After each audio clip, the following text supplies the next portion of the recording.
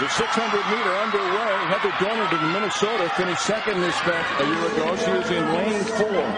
And Dorniden is probably going to be your favorite. She actually won the NCAA championships in 2006 in the 800, but she only won one Big Ten championship in the two years.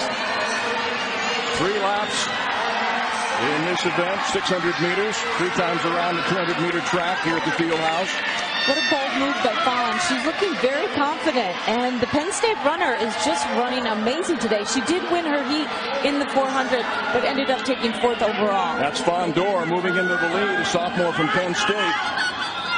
Dorniden running second.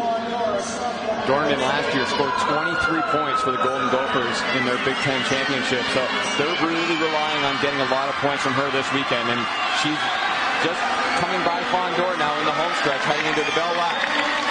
Oh, down. Whoa. Falling down, gets up quickly, but that's going to cost her. Lucky she wasn't injured. Her teammate just went to the front, though, so they may be able to recover from that. And Dorniden is flying down the backstretch. She is she catching is, up. She is going to catch Fawn Dorr, and she may catch the leader. Wow. Wow. She's got Fawn. This is a gutsy effort by Dorniden. Can she pull it off? She's moved into third. Dorniden coming down the stretch from the outside. Dorniden coming on strong. Dorniden all the way. Dorniden. Yes, she did it. Wow. Unbelievable. That is amazing. To, to fall in a 600, I mean, this is basically a sprint. I mean, this is an extended 400, basically. To, to fall with 200 meters to go and get up and win, that is unbelievable. Unbelievable.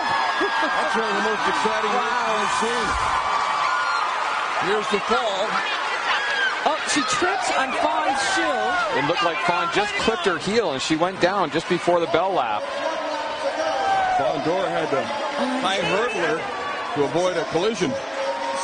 And she is powering down this home stretch, just doing everything she can to win this heat.